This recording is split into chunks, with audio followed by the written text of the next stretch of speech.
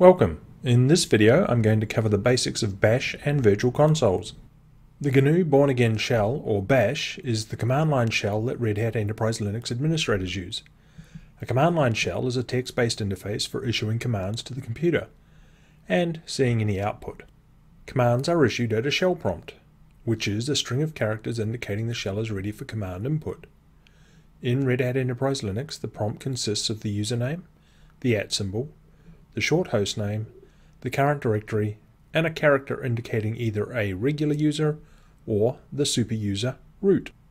The command will output any response before a new prompt is shown, although many commands do not output anything unless there is an error to report. Dollar represents regular users. Pound or hash represents the root user. In case you're wondering, the tilde character is a shortcut symbol for the user's home directory. Although it appears antiquated to type commands into a shell, compared to the point and click of a GUI interface, administrators almost always prefer the shell because of the flexibility and power that the shell gives them. For instance, many bulk operations are easier to perform from the shell, and some useful tools like grep do not really have GUI equivalents. Plus, there is the ability to script regular actions. Also, it is common for servers to be headless, that is, without a terminal attached so a text-based interface is typically all that is available. A Linux machine's physical console supports multiple virtual consoles, which act like separate terminals. Each virtual console supports an independent login session. Red Hat Enterprise Linux 7 starts with five text consoles and optionally one GUI console. You access the separate consoles by pressing Ctrl-Alt-F1 through to Ctrl-Alt-F6. If the GUI is running, it will be on Control-Alt-F1. And the text consoles will occupy Control-Alt-F2 through to Control-Alt-F6.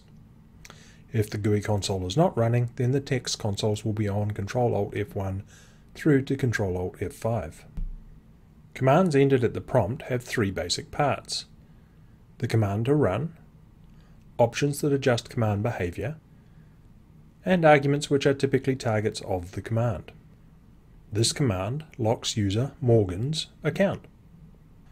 To effectively use a command, you need to understand its syntax. That is, what options it takes and what they do, and what arguments it expects.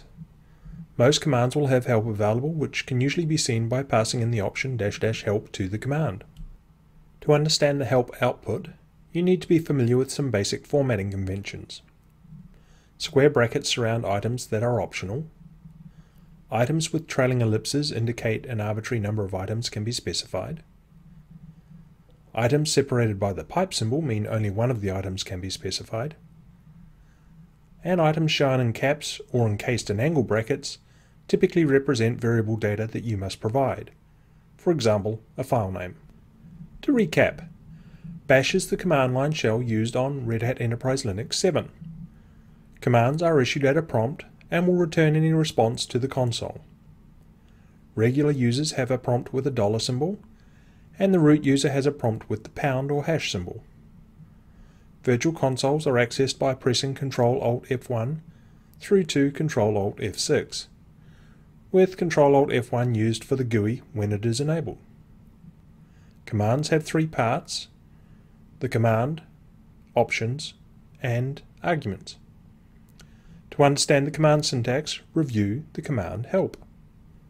That concludes this video. Thanks for watching.